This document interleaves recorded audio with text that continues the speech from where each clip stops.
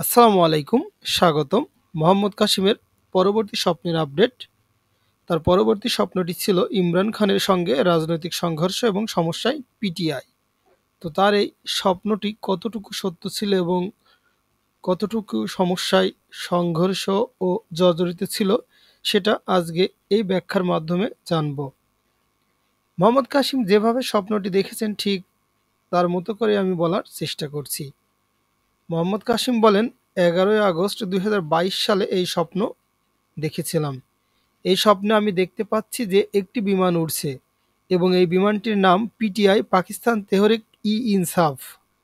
যেমন সাধারণত বিমান সংস্থাগুলির নিজস্ব ব্র্যান্ডিং থাকে।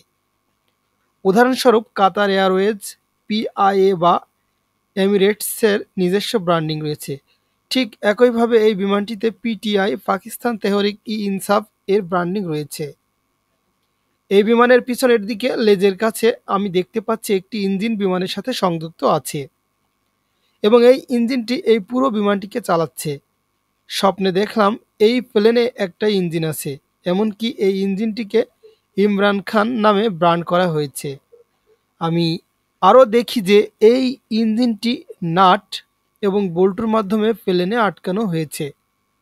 কিন্তু এই নাট এবং বল্টু সময়ের সাথে দুর্বল হয়ে গেছে এবং কিছু ইতিমধ্যে বাতিল হয়ে গেছে এবং দেখে মনে হচ্ছিল ইঞ্জিনটি কোনো রকম বিমানের সাথে ঝুলছে। উড়োজাহাজ যেমন উড়ছে, ইঞ্জিনও কঠোর পরিশ্রম করছে। কিন্তু নাটবল্টুর সংযুক্তির দুর্বলতার কারণে এটি এমনভাবে নড়াচড়া করছে বা প্রবলভাবে কাঁপছে যেন ভেঙে পড়বে। তারপর হঠাৎ দেখি ইঞ্জিন বিকল হয়ে উড়োজাহাজ থেকে আলাদা হয়ে মাটিতে পড়ে যায়। এটি প্রত্যক্ষ করার পর আমি দেখতে পাচ্ছি যে পিটিআই এর শীর্ষ নেতৃত্বদের সদস্যদের হৃদয় ভেঙে গেছে এবং তারা নিশ্চিত বা চিন্তিত। তারা বলেন, এখন এই বিমান চালাবে কে? একটি মাত্র ইঞ্জিন ছিল যা এখন ভেঙে পড়েছে, পড়ে গেছে। কে এখন এই নতুন বিমানের ইঞ্জিন লাগাবে? তারপর আমি দেখতে পাই যে তারা এই বিমানের জন্য অন্য ইঞ্জিন অনুসন্ধান শুরু করেন।